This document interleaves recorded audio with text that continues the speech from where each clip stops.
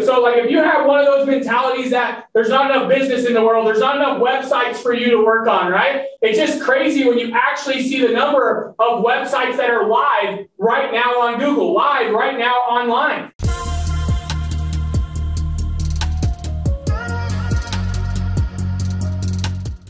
I know some of you in your head right now, you're probably thinking, oh man, uh, th- there's not enough businesses. There's so many people doing this now. There's, like, there's so much going on, right? And so um, I want to jump over here real quick. I'm going to share my screen again.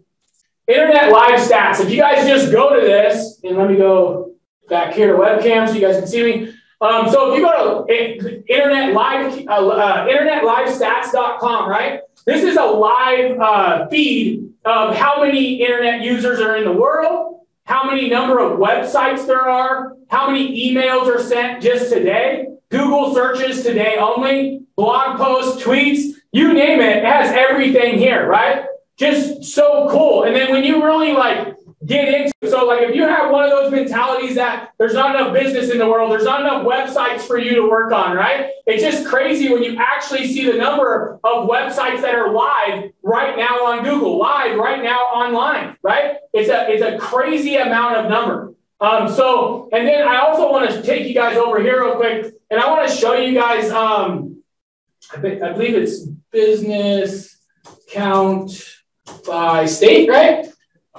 There you go. Cool. So if you go to business count by state, okay, and you just jump in here real quick, and let's just go in here. This is going to break down to you how many businesses are in your state, right? So, like if I go down here to Colorado, for instance, just Colorado alone, boom, 377,707 businesses in Colorado. Okay. If I can get 1% of 1% of those businesses, that's going to hand me what, 37 clients? 37 clients paying even a thousand dollars a month is 37,000, right?